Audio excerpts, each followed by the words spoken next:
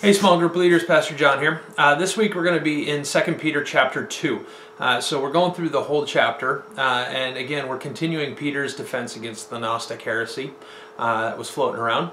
So I, uh, I've chosen three points uh, for our chapter this week. The first one is when it sounds too good, be, too good oh, excuse me, when it sounds too good to be true, it is. again, this is the, the promise of the special knowledge by the Gnostics um, sounding very good, and, uh, and Peter deals with that.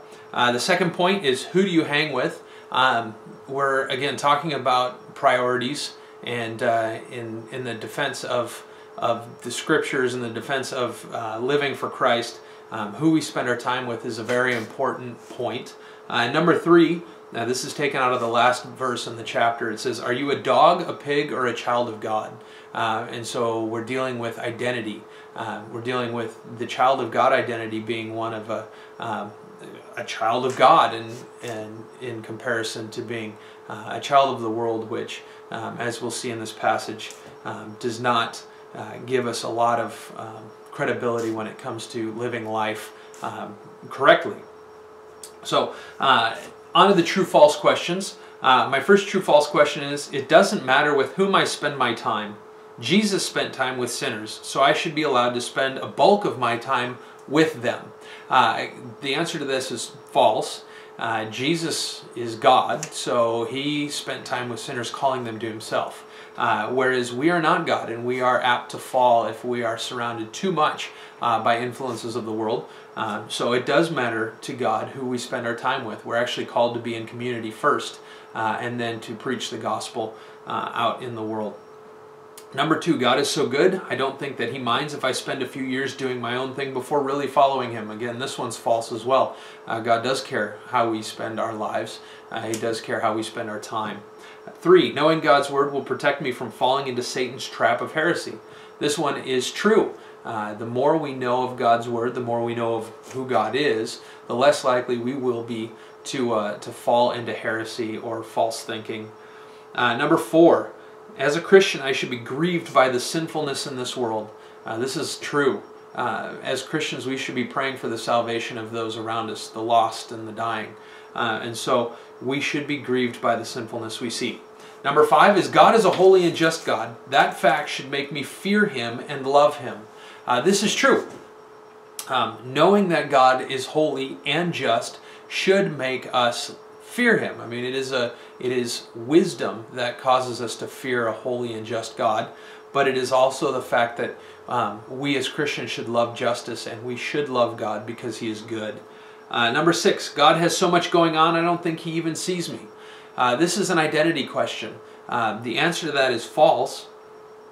But God is not so busy that He doesn't recognize His children and He doesn't recognize what's going on in this world. Um, we're trying to get at the heart of um, who God is, His sovereignty over everything.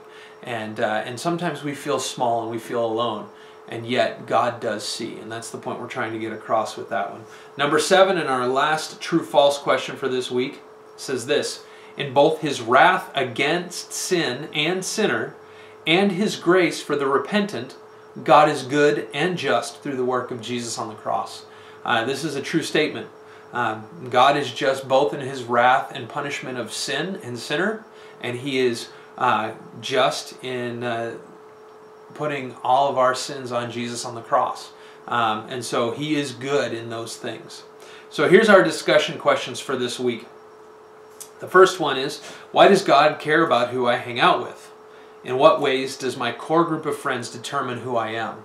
Um, this is a good one that we want to push the kids in answering, not just to give us the right answer. Again, discussion questions are not geared at getting the right answer. They're geared at bringing up discussion and then correcting wrong thoughts. So um, God does care about who we hang out with. Uh, he's, he's desperate for us to be in community, and, and He calls us to that. Uh, he calls us to encourage and edify one another um, in our learning of His Word and our teaching of His Word. And, uh, and the second part of that question, in what ways does my core group of friends determine who I am? Uh, we are creatures of habit, and we are creatures who like to be liked. Um, that is part of our um, part of our core values. Really, is is we want to be um, encouraged for what we who we are. And so we often surround ourselves with people who might not be great for us um, and might lead us down a wrong path just so that we can gain acceptance. And that really does determine who we are. Uh, and then our second discussion question is what is discernment and how do I get some? Um, and the Bible talks a lot about being discerning, about uh, understanding what is right in God's eyes and what is right in man's eyes, and then finding uh, what is truly right and good. And then uh, how do we develop that? Um, the, the short answer is we do that through um, the reading of God's Word, through the studying of God's Word, and through the finding out uh, about who He is. Uh, so that's what I got for you this week. Again, if you have any questions, concerns, or um, additions or subtractions you'd like to see, uh, go ahead and send me an email. All right, have a good one.